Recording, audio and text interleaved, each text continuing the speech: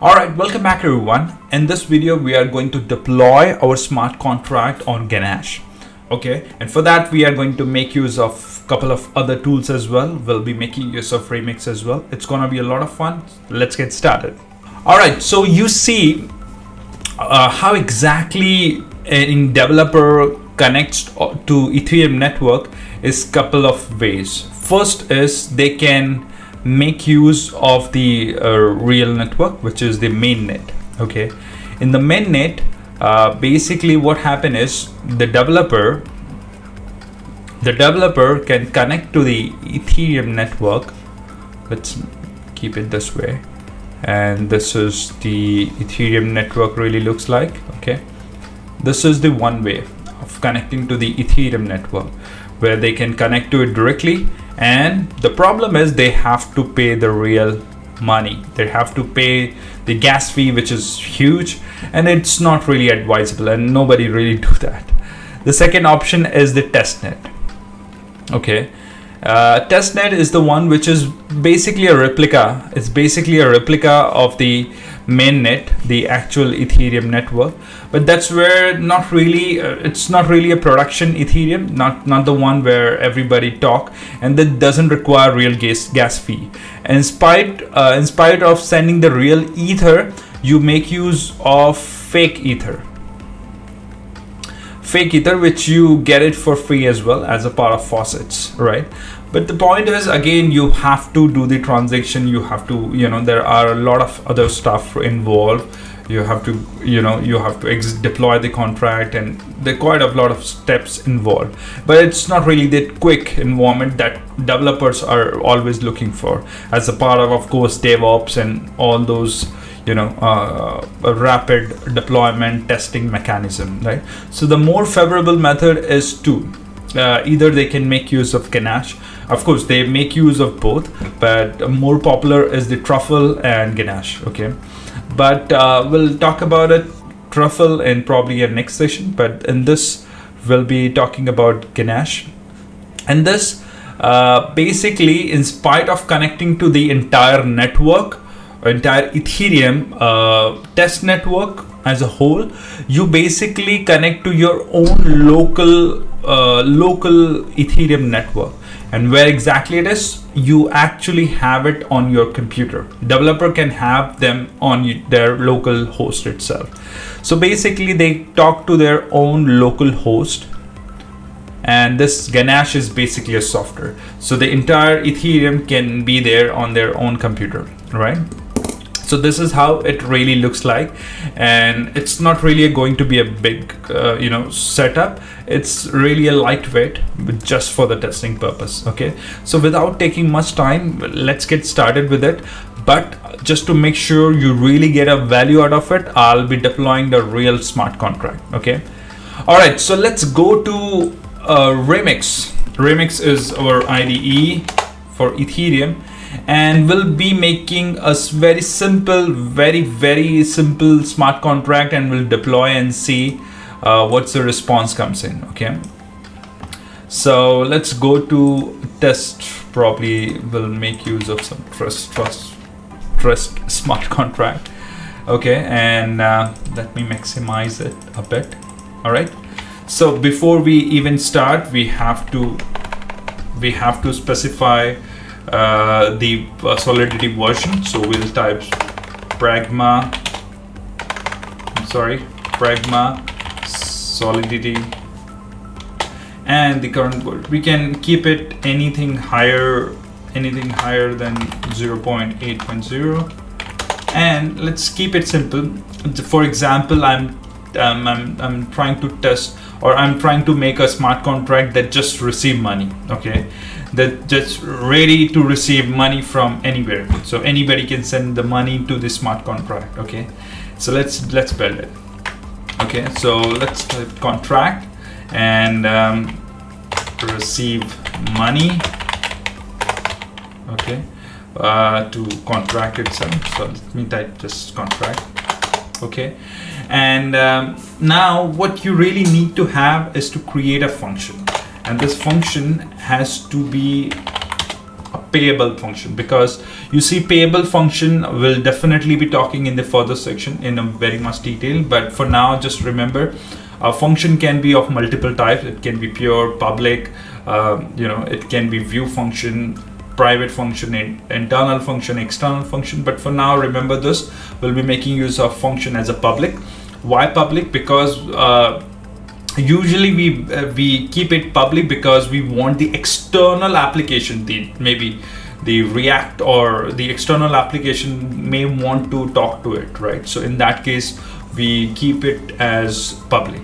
We can also make use of external as well but external only ensure that it can only allow to talk to the external party not to the uh, internal but you of course can make use of any one of them but I'll make use of public in that case okay? But always remember you also have an option of external as well right? So you say receive money that's it okay? And I'll just keep it public and I'll make it payable okay? So you say public because as I said you want to have the external uh, variables or function uh, in the React, in the actual legacy application should be able to talk to the uh, uh, you know backend smart contract, right? And then I can just close it, right? And that's pretty much I can my contract is done. I can simply compile it and it's pretty good. Oh, you see a warning here. It's basically because you always need to ensure that you specify the license for this.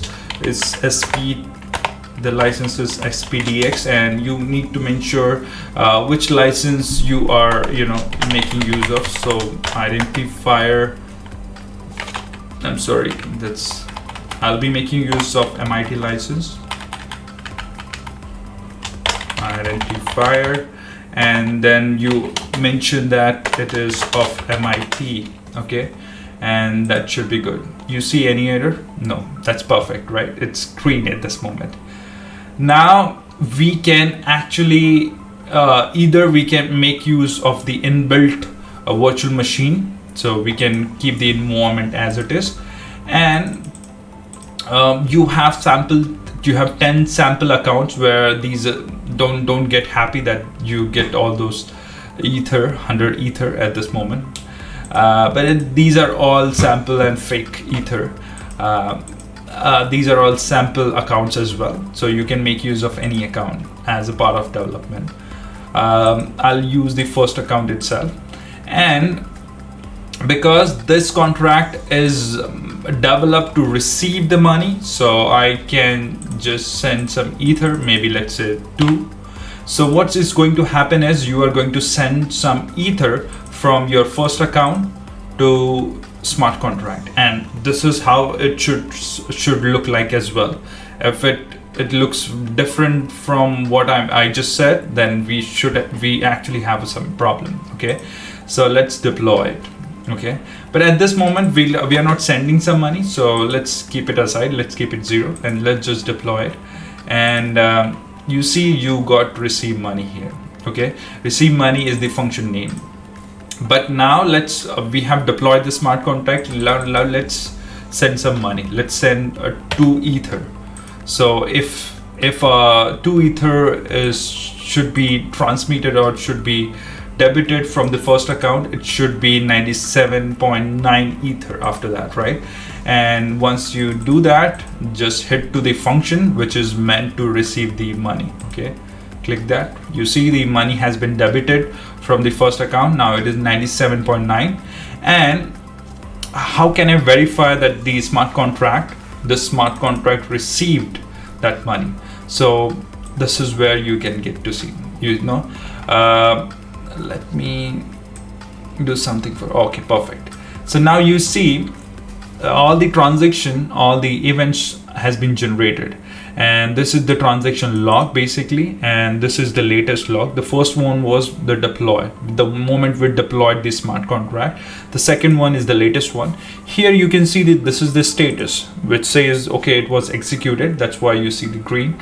And this is the transaction hash. By making use of it you can verify and trace any transaction of course in the ethereum remix environment it doesn't make sense but in the real environment whenever you perform any transaction you can trace any transaction by using this transaction hash. Okay so the address from uh, the source address is this zero, uh, the 5838 or something 5b38 which is exactly what we have here right? And the two the send uh, the this is the name of our smart contract. You see this? Receive money contract. Receive money contract right? This is the name of contract and this is the function. That's why you see the dot name of the function. Remember this every there are two kind of accounts okay? There's externally owned account which is this which is normally owned by users and there's another account called smart contract account. So yes smart contract also have also has an account. That's why they can they can receive money. If you can only receive money uh, only if you have an account right? So that's why you can send money from uh, from externally owned account like any user account to smart contract. So in the world of blockchain or ethereum smart contract also act as an user as well okay on certain level.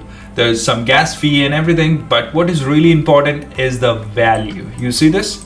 Val that's a value. And this is the this is the value right? So this is the in wei which is equal to the uh, to ether right? So i think you got the idea about how we can uh, perform the transaction on on remix and how can they can verify. But the purpose of this video was to do the transaction on um, on Ganache, right? So in order to perform the same transaction on Ganache, uh, what we can do is we on the environment we just need to select web3 provider right? The moment you do that it sets some parameters. It says a note you can to use Geth or this parameters and uh, a couple of other warnings as well what is really important is the web3 provider endpoints now for this to test uh, we'll have to open our Ganache and test it as well. All right, so you can see we have opened our Ganache and um, we have to make sure our Ganache is ready to talk on the same uh, uh, same port as well. So we can quickly start. Okay, wonderful. So make sure the port number is same as here. So 8545. Okay, perfect.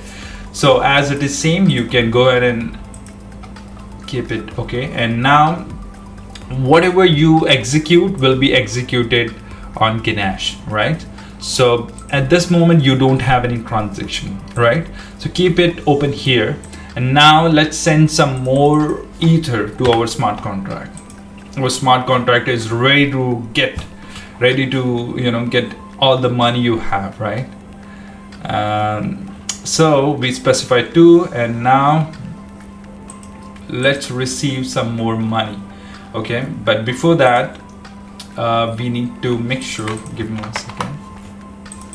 Okay so sorry that's two and we'll click on uh, we'll have to specify deploy I think I'm not sure why it got removed but usually there for once.